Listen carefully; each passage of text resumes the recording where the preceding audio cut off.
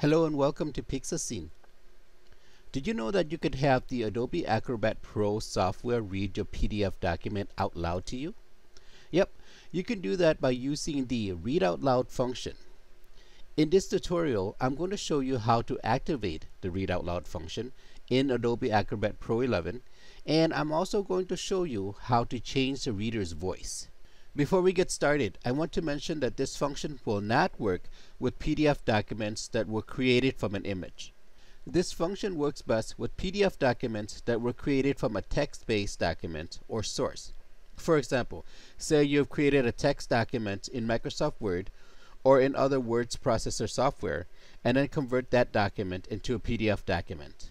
Or you use the Adobe Acrobat Pro software itself to create your Word document. Okay, let's get started. Here's my sample PDF document.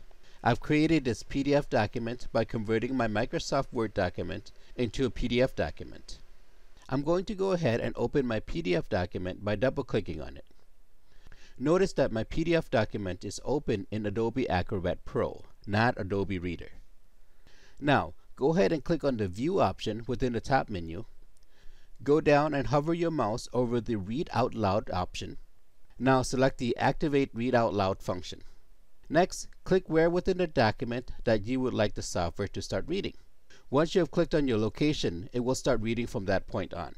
Welcome to Pixascene tutorial video. You've just learned how to activate the Read Out Loud function of Adobe Acrobat Pro 11. We hope you enjoyed the tutorial. Until next time, take care. This is the default option. You have other reading options too. If you go back and hover your mouse over the Read Out Loud option again, you will see the other options that are available for you to select. Okay, the next thing I will show you is how to change the reader's voice. To change the reader's voice, click on the Edit option within the top menu and then select the Preferences option. Now, find a reading category and click on that.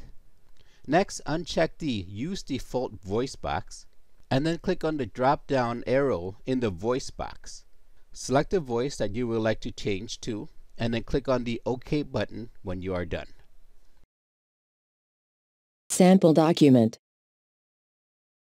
Welcome to Pixascene tutorial video. You've just learned how to activate the Read Out Loud function of Adobe Acrobat Pro 11. We hope you enjoyed the tutorial. Until next time, take care. Well, that's it for activating the Read Out Loud function and changing the reader's voice within Adobe Acrobat Pro 11. Thank you for stopping by. Don't forget to subscribe to our channel to get the latest updates and videos. Until next time, take care.